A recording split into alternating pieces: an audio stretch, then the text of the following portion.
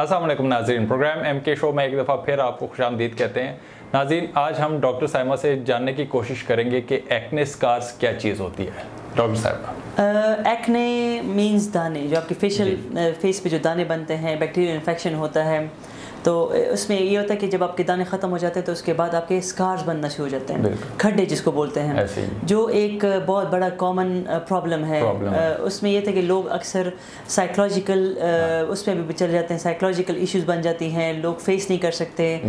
Society کو یا پھر مطلب اپنے اس میں پھر یہ ہوتا ہے انزائٹی شروع ہو جاتی ہے۔ اکثر کیونکہ چہرہ آپ کا اچھا نہیں لگتا۔ اچھا نہیں اور میرے خیال سے یہ زیادہ ریشو جو ہے مردوں کے اندر زیادہ ہے۔ نہیں بہت دونوں میں ہے۔ مرد اور عورتوں میں دونوں میں ہے۔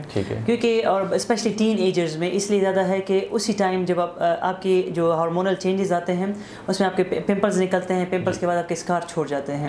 تو اسی ٹائم اگر آپ اس کو ٹریٹ کریں that is the best time to treat acne scars اس کے علاوہ اگر آپ کے ہو گئے ہیں اسکارس تو اس میں ہم لوگ ایسے کرتے ہیں ہمارے پاس مختلف ٹریٹمنٹس ہوتے ہیں۔ اگر سپرفیشل اسکار ہیں تو ہم لوگ کیمیکل پل سے ریموو کرتے ہیں۔ اور اگر آپ کے ڈیپ ڈیپ اسکارس ہیں تو اس کے لیے ہم لوگ پھر مائکرو نیڈلنگ پیس کرتے ہیں۔ صحیح۔ اس کا مقصد یہ ہوتا ہے کہ آپ کے جو اسکارس بنے ہوئے ہیں اس کے فائبروسس کو جو آپ کی جڑیں اس کی جو سخت جڑیں بن جاتی ہیں اس کو ریموو کرنے کے لیے ہم لوگ پھر مائکرو نیڈلنگ تھراپی کرتے ہیں۔ جو ایک مطلب ایک بہت اچھی تھراپی ہے اس میں آپ کا ڈاؤن ٹائم جو ریکوری ٹائم ہے بہت کم ہے۔ اگر ہم لوگ ابھی پروسیجر کر لیں تو مطلب اس میں یہ ہوتا ہے کہ ایک دن میں ہی آپ کا جو ریکوری ٹائم ہے وہ نارملی مطلب ون نائٹ ہوتا ہے یا ایک دن ہی ہوتا ہے۔